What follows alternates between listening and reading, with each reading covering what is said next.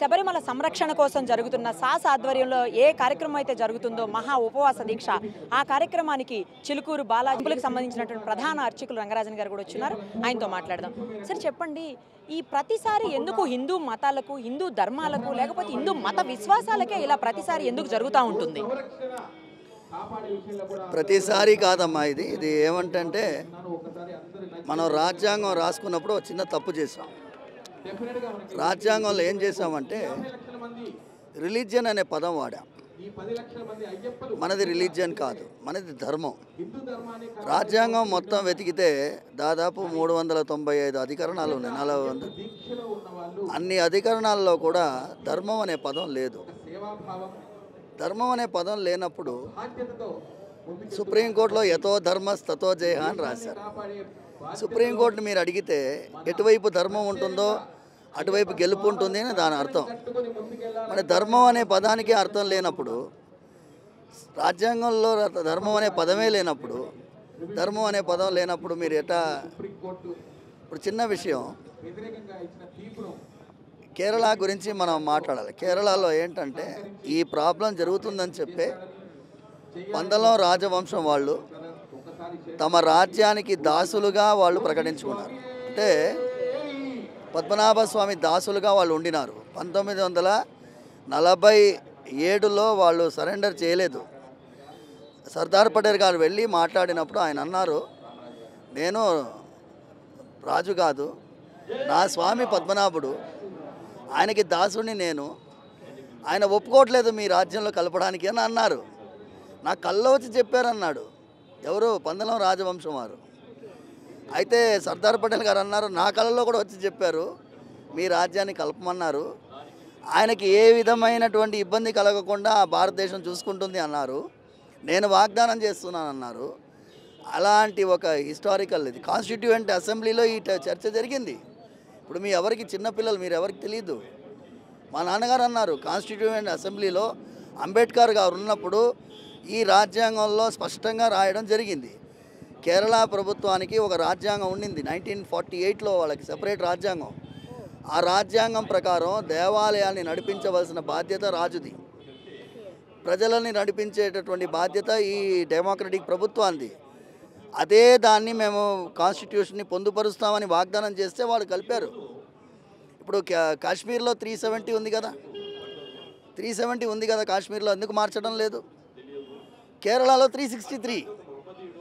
Three sixty three article three sixty three is for the royal family this the proof ఆ ruler అనేటటువంటి పదం ఇప్పుడు కూడా వాళ్ళు పందలం రాజు వాళ్ళ వంశం వాళ్ళు త్రవణ్కోర్ రాజవంశం వాళ్ళు దేవాలయాలను యాజమాన్యం వాళ్ళు ట్రస్టీస్గా ఉంటారు. ఇవాళ సుప్రీంకోర్టు జరుగుతుంది పద్మనాభ స్వామి దేవ దేవాలయం కేసు జరుగుతున్నది. ఆ బంగారం ప్రభుత్వాన్ని అంటున్నాడు. ఎట్లయితుంది నీ అబ్బసొత్తు కాదు కదా? క్లియర్గా నేను చెప్తున్నాను. It is not belonging to the government Padmanabha Swamy సొత్తు అది తిరుమల వెంకటేశ్వర స్వామి వారికి కిరీటం ఇచ్చినటువంటి కృష్ణదేవరాయలు అనుకోండి. నేను ఇవాళ రోజు చంద్రబాబు నాయుడు గారు నా సొంతం అంటే ఎట్లా అవుతుంది? అవ్వదు కదా? ఎంత రాజ్యాంగం మీరు రాసుకున్నా కూడా మీ పరిధి అంతే. You have no business inside the temple supreme court has no business I go on record మీరు దయచేసి దీన్ని ఇన్వర్టెడ్ కామర్స్లో వేయండి. సుప్రీం కోర్టుకి రాజ్యాంగం చదవని వాళ్ళందరూ మా దౌర్భాగ్యానికి జడ్జిలుగా కూర్చున్నారు. రాజ్యాంగం చదవలేదు సరిగా వాళ్ళు. రాజ్యాంగం కనుక చదివి ఉంటే matter of religion and faith is not the domain of judges నువ్వెవడయా నిర్ణయించడానికి? ఇది ఇది మా మతం ఇది మా ధర్మం మా నమ్మకం మా విశ్వాసం. ఇది విశ్వాసం లాజికలా కాదా అని నువ్వెవడ నిర్ణయించడానికి? నువ్వేం దేని మీద నిర్ణయించావు? ఐదారుగురు ఆడవాళ్ళు మీరు వేసిన పెట్టి ఆడవాళ్ళు కూడా వేయలేదు. వాడు వేసినటువంటి పబ్లిక్ ఇంట్రెస్ట్ లిటిగేషన్ పైన మూడు జడ్జెస్ బెంచ్ని రాజ్యాంగ ధర్మాసనానికి షిఫ్ట్ చేసి ఐదుగురు రాజ్యాంగ ధర్మాసనంలో ఒక మహిళని పెట్టుకొని మిగతా నలుగురు జూనియర్ జడ్జెస్ని పెట్టుకొని. జూనియర్ జడ్జెస్ రాజ్యాంగ ధర్మాసనంలో కూర్చొనే కూడదు. రాజ్యాంగ ధర్మాసనంలో ఎప్పుడు సీనియర్ మోస్ట్ జడ్జెస్ కూర్చుంటారు. జూనియర్ జడ్జెస్ ముగ్గురిని పెట్టుకొని మీరు ఎలాగైతే మీరు తీర్పు ఇచ్చారో తీర్పు మొత్తం రాజ్యాంగానికి వ్యతిరేకం. మాకు వ్యతిరేకమే కాదు రాజ్యాంగానికే వ్యతిరేకం. ఆ తీర్పుని నడి రోడ్డులో కాల్చాలి. దానికి కాల్చాలి. ఎందుకంటే తొమ్మిది జడ్జెస్ ఇచ్చినటువంటి తీర్పుకి వ్యతిరేకంగా ఐదు జడ్జెస్ ఎట్లా ఇస్తారండి? తొమ్మిది జడ్జెస్ ధర్మాసనం ఏం చెప్పిందంటే దేవాలయంలో ఉండేటటువంటి భగవంతుడికి పరిపూర్ణమైనటువంటి హక్కులు ఉంటాయని చెప్తుంది. Nine judges bench. ఐదు జడ్జెస్ బెంచ్ ఏమంటుంది? అది కూడా జస్టిస్ చంద్రచూడ్ గారు మహానుభావుడు. ఆయనకి అర్థం కావట్లేదు. కొడుకుకి తండ్రి కొడుకుకి తండ్రికి హక్కులు ఉంటాయి కదా కొడుకు పుడతాడు. ఇప్పుడు కొడుకు ఏమంటున్నాడు? తండ్రికి నీకు హక్కు లేదంటున్నాడు. ఎట్లా అంటాడు? ఇప్పుడు మీకు తండ్రికి ఎలాగైతే హక్కులు ఉన్నాయని అంటావో మా అందరికీ తండ్రి లాంటి వాడు అయ్యప్ప. మాకు తండ్రికి హక్కు లేదంటే నేను ఎవడు ఒప్పుకుంటాడు? అందుకే ఆ జడ్జిమెంట్ని కాల్చాలి. I say if you burn this judgment it will be the best for solution ఇప్పుడు మీరు అన్నారు కదా ఇంతకుముందు ఒక ప్రశ్న అడిగారు తల్లి మీరు ఏమన్నారు? ఎందుకు ఈ ధర్మం పైనే ఎందుకు ఈ ఇబ్బందులు జరుగుతున్నాయని అడిగారు. ఎందుకంటే మేము సహనశీలు. ఫస్ట్ టైం ఒక సుప్రీంకోర్టు తీర్పుకి వ్యతిరేకంగా ఇంతమంది కాలుతున్నారు మనసు బాధపడుతుంది అంటే సుప్రీంకోర్టు ఏం చేయాలి? అర్ధరాత్రి కూర్చొని వినాలి. అర్ధరాత్రి కూర్చొని వినాలి మీరు. మీకు వేరే పని లేదు. మీరు ఇచ్చిన తీర్పు వల్ల ఒక రాష్ట్రం అల్లకల్లోలం అవుతుంది మీకేం లేదా? Don't have any right to life మాకు లేదా? సుప్రీంకోర్టు జడ్జికే రైట్ టు లైఫ్ ఉంటుందా? అఫ్జల్ గురువుకి మాత్రం రాత్రిపూట కూర్చొని వింటావు కదా బాబు? అజ్మల్ కసాబ్ కోసం రాత్రిపూట విన్నావు కదా బాబు? అయ్యప్ప కోసం వినవా? ఏం జడ్జిమెంట్ అయ్యా మీది? కొంచెం కూడా బుర్రలు లేవా? అంటే డబ్బున్న వాడికి ఒక న్యాయం ఈ రాజ్యాంగంలో. భక్తులకి న్యాయమే లేదు. నమ్మకం ఉన్న వాడికి న్యాయం లేదు. ఈ ధర్మాన్ని ఈ దేశాన్ని పూర్తిగా ప్రేమించే వాడికి న్యాయం లేదు. మేము ధర్మాన్ని దేశాన్ని ప్రేమించేవాళ్ళం. వ్యతిరేకం కాదు.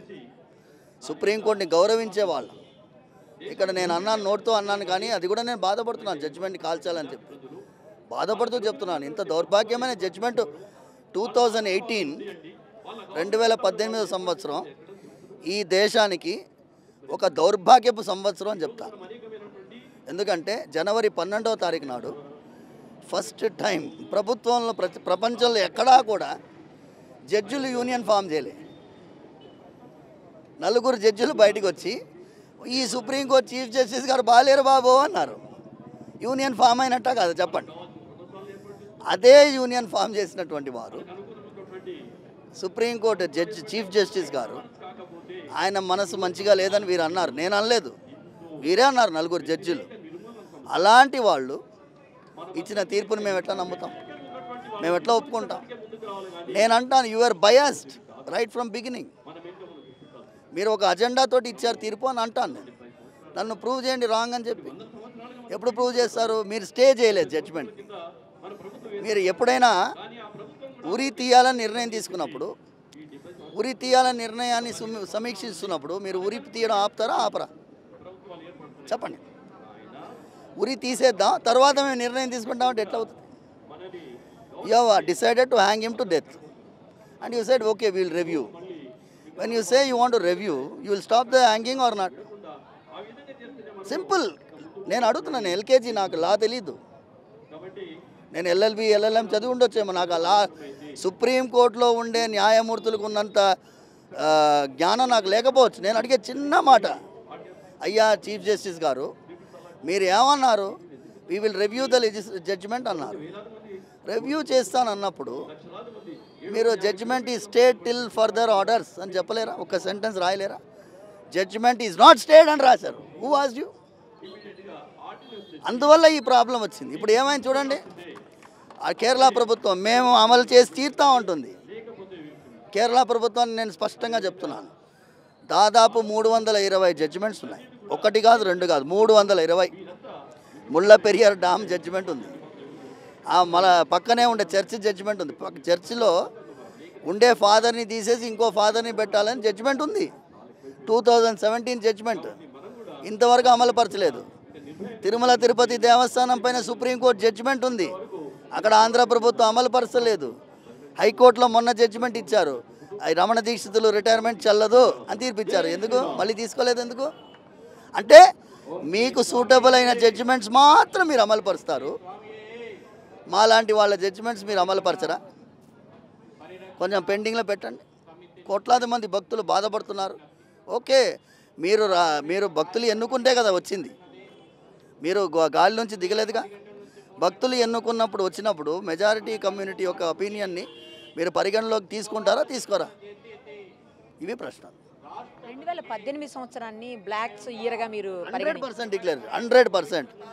Two thousand eighteen two thousand eighteen is a black year for Indian democracy సుప్రీంకోర్టులో జడ్జిలు తిరగబడ్డ సంవత్సరం అది.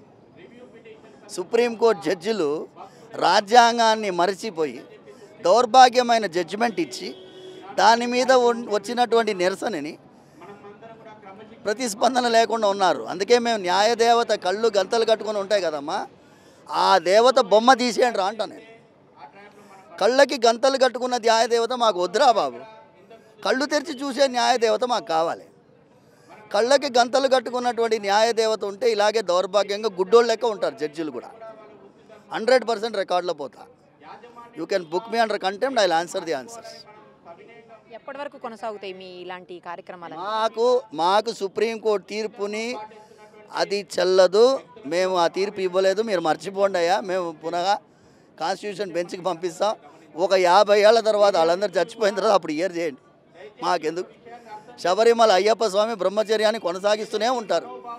సుప్రీంకోర్టు కింద లేరు మా Ayyappa. Ayyappa is not under the supreme court Ayyappa is above the supreme court supreme court is under Ayyappa.